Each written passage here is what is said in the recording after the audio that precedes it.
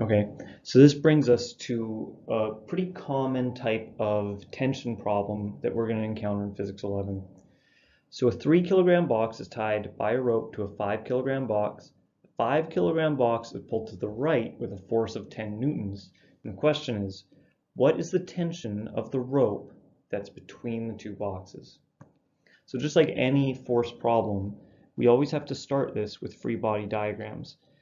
But you'll notice that we have two different objects. So we're going to do a free body diagram for, let's call it mass 1, which is the 3 kilogram one on the left. And then we'll call mass 2 the object on the right. So we'll start with the free body diagram of mass 1. It's got force of gravity pulling it downwards. It's got the normal force pushing it back upwards. And the tension in the rope on mass 1 is pulling mass 1 to the right. Those are all the forces. There's no friction. If we are not told anything about friction, we assume it's zero. So the only force acting to the left or to the right is the force of the tension in the rope. So that'll bring us to the free body diagram of M2. M2 is going to have a slightly larger force of gravity because it's a heavier mass. It's going to have a slightly larger normal force to counteract that force of gravity. And because the rope is tied to the left, the tensions pull inwards or to the left on block 2. It should be the same size as the tension that's acting on M1. And we also have this applied 10 Newton force, which let's label as FA just so we have something to call it, that's pulling the boxes to the right. Now I know that because this object is going to accelerate, accelerate to the right, there's no friction, so it's got to move to the right this applied force will have to be a little bit bigger than that tension force. So that way there's an unbalanced force on mass 2 acting to the right. This actually gives us a ballpark for the tension force as well. Even though we don't know what it is, we do know that it has to be less than 10 newtons. So now we're going to go on a little detour. Usually what we would do in a force problem after we have our free body diagrams done is we would take this time to write out the FNet statement for, for our object. So because we have two objects, I'll write two FNet equations and see where that gets us. So for object one, the net force, and this is going to be just in the x direction. We only care about the horizontal forces because that's the force, or that's the direction that the tension is acting in. So we'll do the FNet statement for the x direction. The FNet statement is just FNet equals T because there's only one force acting horizontally on mass 1. So we'll replace Fnet with MA, and we could call that M1A because this is just the net Fnet statement on mass 1 is equal to the tension. Now keeping in mind that we're trying to solve for the tension in this problem, there's no way to solve for the tension unless we know the acceleration of the system. We have too many unknowns otherwise. So unless we have a way to solve for A, we're kind of stuck in this equation. So let's go over to the FNet statement for mass 2 and play a similar game.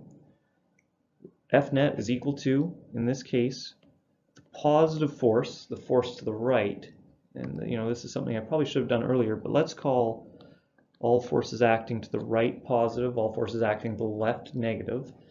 So that means that the FNet statement for M2 is FA acting to the right, subtract the tension that's acting to the left. So because there are only two forces acting in the horizontal direction, those are the two forces that have to appear in our FNet statement. So we have FA acting to the right, subtract the tension because it's acting to the left. And now we'll go ahead and fill in FNet is equal to MA but because we're just considering the free body diagram of mass 2, this is the net force on mass 2, it's going to be m2 times a equals fa minus t. And you'll notice that now we have a different unknown in this, or, or, we should, I should say, we have a different force in this problem, which is the applied force, and that's not an unknown, so it's not a big issue to have in our equation. It's just a number that we can stick in, but we still have this acceleration that we don't know. So writing the F-net statement for both of the blocks individually doesn't get us anywhere. It doesn't get us closer to solving for the tension. So if looking at the two blocks separately doesn't help us, what that means is that we have to look at the bigger system.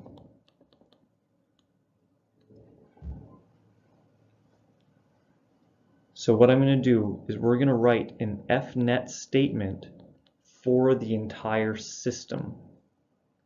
All the forces acting to the right and all the forces acting to the left. And so let's start with the main force acting to the right, which is FA.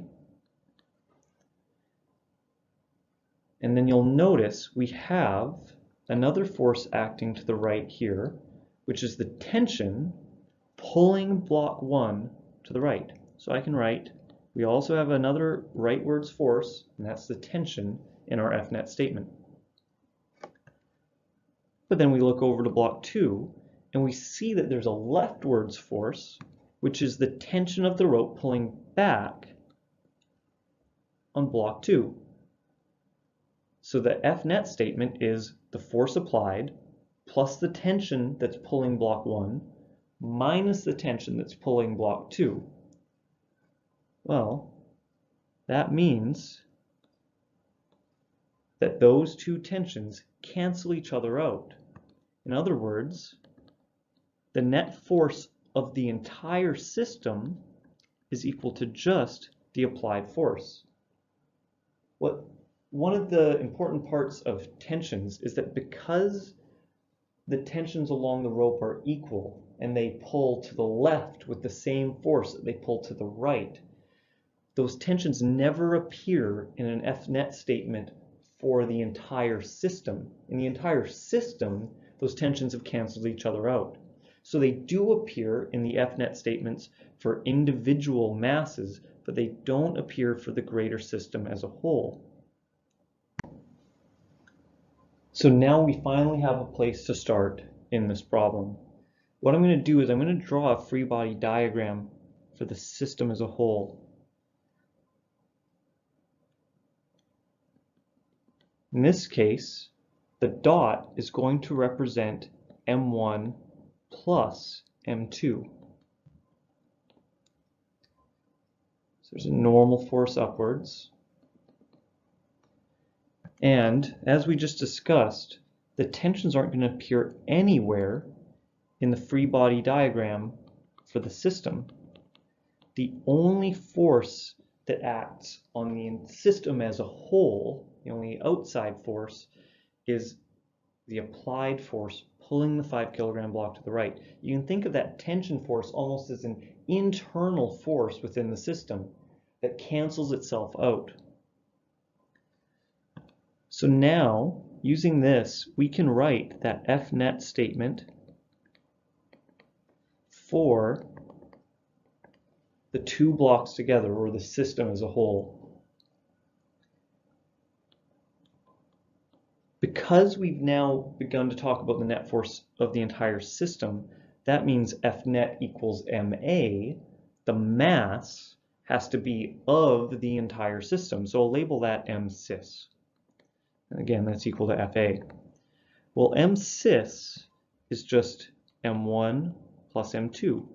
It's the mass of the combined parts times the acceleration is equal to FA. There's only one unknown in this equation, and that's the acceleration.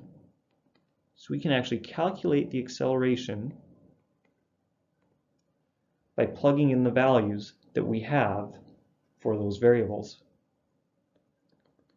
acceleration is equal to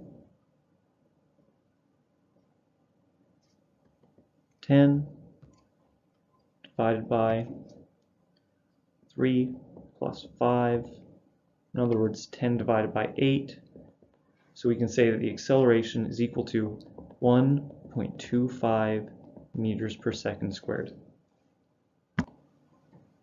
But in this question, we weren't asked for the acceleration, we were asked for the tension in the rope. And that equation that we were just working with doesn't have the tension in it, which is why we actually wanted to use that equation in the first place. But what it means is that now we have to go back to that free body diagram of mass 1 or mass 2, but we're going to use mass 1 and I'll tell you why. If you have to choose between the two masses in order to solve for the tension, I'm going to pick the one with the fewer forces because it's just less work to do, less opportunities for mistakes. So I can write the FNet statement for mass 1, and I'm going to fly through this a bit because we've already done this. The FNet statement is equal to the tension, so that's M1A is equal to the tension. Well, now we're getting somewhere because the acceleration is no longer an unknown because these are all tied together, they have to accelerate together. If they accelerated at different rates, it would mean that the rope was stretching or breaking or something weird was happening. But we always have to assume that everything in the system accelerates at the same rate together. So now that we've solved for the acceleration for the entire system, we can say that that's the acceleration of mass 1, that's the acceleration of mass 2 as well, it's the acceleration of everything. So the tension in the rope is going to be equal to